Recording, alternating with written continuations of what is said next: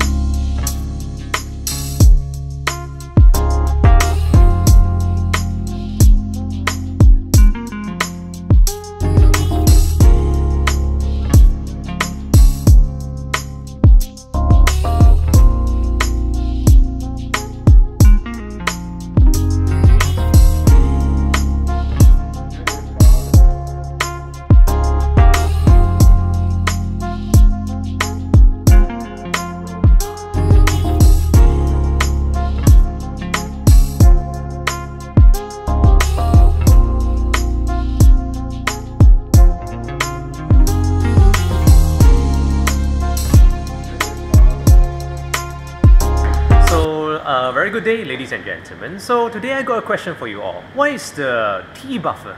Alright, so firstly we need to understand TE buffer is known as a very common buffer that used in mo molecular biology. So normally we use this during the procedure involving DNA, cDNA or RNA. Alright, so what is the real definition of this TE buffer? So we need to understand what is the meaning of T. T is known as the tris, which is a common pH buffer, whereas the E is known as the EDTA, which is a molecule that used to chelate cations such as magnesium ions. Thank you. So, good day everyone. My name is Chow. So today my question is, why is it important to extract DNA on ice? So basically by using the ice cold water, it will increase the yield of DNA and also the cold condition will protect the DNA by slowing down the enzymes that will break it. And these enzymes are present in the cell cytoplasm, but not the nucleus. Thank you. Hello everybody, my name is Ong Eun. So now I would like to ask you guys a question. Why is tris buffer used for DNA extraction? The, the answer of these questions is DNA is pH sensitive during cell lysis, removal of unwanted cellular components and precipitation. Tris is used to maintain the pH stability as well. Thank you. See you again. Bye. Good day everyone. My name is Lau. Now I will ask a question. What is the purpose of dry heater at 95 degrees Celsius in DNA extraction? The answer is the heat softens the cell wall and membrane, so the DNA is released, and also denature the enzyme in the mixture so that can degrade DNA. Longer heating can denature the DNA. Thank you. Hello and good day. My name is Dr. Manaf. Today I'm going to explain you why we are going to use nanodrop spectrophotometry. Actually, we are going to use nanodrop spectrophotometry mainly for you for measuring the DNA, RNA, and proteins, measuring the purity and the quantity. So for DNA, the acceptable purity for DNA would be between 1.7 to 2 nanometer using 260 over 280 nanometer. If the purity of DNA less than 1.6, that means we couldn't use this DNA due to the high contamination of it. Thank you. Okay, this is the end of our video. So thanks for watching. Thanks my group research members and please don't forget to share, like and subscribe and activate the bell to reach our new videos. Thank you, good luck and bye bye.